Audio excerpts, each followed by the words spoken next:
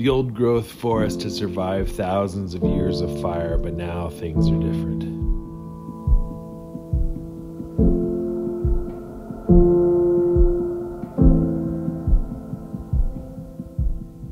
A perfect storm of climate development, simplification, and fragmentation has left the ancient stands vulnerable in a way they never have been before.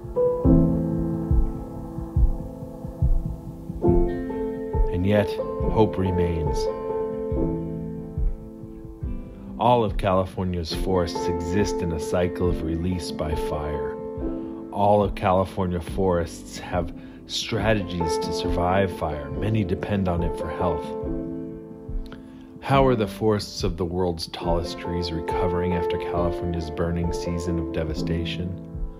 What will be the legacy of this big burn? And what does it tell us about the future of the big trees and how are we tangled up in that story? While our forests transform and reset, let's consider the opportunity for us to do the same. Let's marvel at the vast array of tools these systems use to handle the burn. As the rain returns to the coast where these big trees have lived for millions of years, let's go find the green pushing up through the gray.